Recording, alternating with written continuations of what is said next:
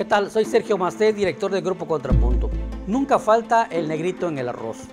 Y este es el caso de Miguel Ángel García Albarrán, director general del Hospital Comunitario de Isla Mujeres, quien hace todo lo contrario de Alejandra Aguirre Crespo, que ha tenido una actuación eficaz en la Secretaría de Salud.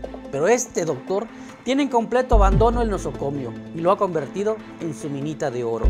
Cuando el río suena, agua lleva, dice conocido refrán. Pues bien, es el caso del doctor Miguel Ángel García Albarrán, que ha sido denunciado por los derechoambientes, quienes prefirieron omitir sus nombres por temor a represalias.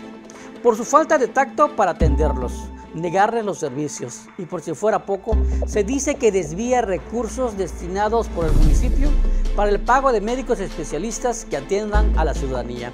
Pero además, voces desde el interior del hospital revelan que el director general prefiere gestionar primero la plaza de su esposa que la de algún médico especialista que esté de planta para atención de los isleños todos los días de la semana. La prioridad es para él su familia.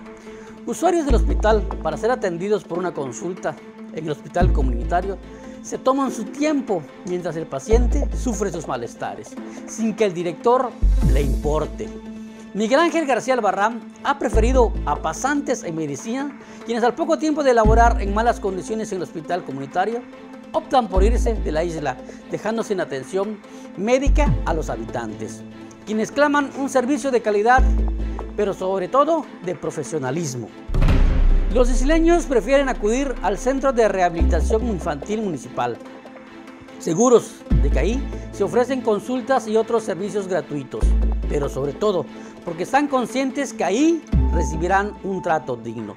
Seguramente es un caso que desconoce la Secretaría de Salud, pero que pronto tendrá conocimientos de las condiciones en que Miguel Ángel García Lebarram tiene al Hospital Comunitario de Mujeres que no cumple con la máxima de la institución que es garantizar la salud para todos. Hasta la próxima.